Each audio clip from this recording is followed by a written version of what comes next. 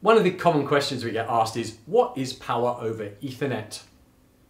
So power over Ethernet is very simple. Um, this is what is called a power over Ethernet injector. What does it have? You can see it's got a mains input there, and then on this side here, it's got two Ethernet connections. So we're going to take our network cables, which I've put behind me uh, somewhere here.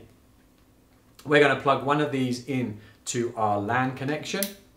This LAN connection, this is maybe going to plug directly into our router if we've got some spare ports, um, or it might um, plug directly into a switch. Um, I'll just show you this one that we've got here. This is a USW uh, Lite 16. All right, and that is our data input. We then plug this side into the mains. That's our power in. We now have data and power entering into this box. From here, we may then have a, cable that can run up to 100 meters in length. All right, and we're going to plug that here into the PoE port.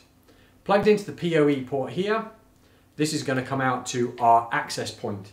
So I've got an example, I've got an access point um, here. All right, so this is how we're going to get the power here. What happens is pins 4 and 5, the blue ones, in your Cat6, Cat5 cable, or Cat5e cable, carry the power. So this could be up to 100 meters away, this access point, um, and you can have your power over Ethernet injected, your power injected into the Ethernet, um, right the way back where your network switch is, or maybe your modem or router is. So this is what we refer to when we say it is a PoE injector. If this is in the Ubiquiti realm, then generally when you buy a single device, like a single AP access point, um, like the one that I've got here, this will come with a power over Ethernet injector. That is the minimum that you use to make it work. You can then get PoE based switches. This is an example, this one here. This is a 16 port. It's the USW-Lite-16-PoE. It's got eight ports of PoE. And what this does, it takes the mains in, and obviously it's already got the data here and it mixes it for you. So you don't need the injector. So if you've got a number of access points, it's great to have a switch like this. You maybe got cameras as well, or you've got VoIP phones, then using a switch is a much better way of doing it um, because you don't have to have lots of these. Imagine you've got eight ports, eight devices connected here. You've got to have eight mains outlet sockets and eight of these hanging around at some place. So hopefully that's been useful. When we refer to a PoE injector, it's normally a little box like this, or if you refer to a PoE switch, it's a specific switch that can do PoE.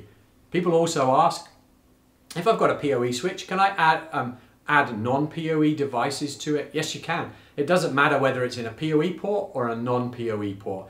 This device here will only request power if it knows that it needs power. So you can plug a computer into here and this device, this switch won't send power to it because the device never requests the power. So it's pretty safe to do. You can use a switch for multiple devices. They don't have to just be PoE devices. So hopefully that's been useful as a quick overview of what PoE and what a PoE injector looks like.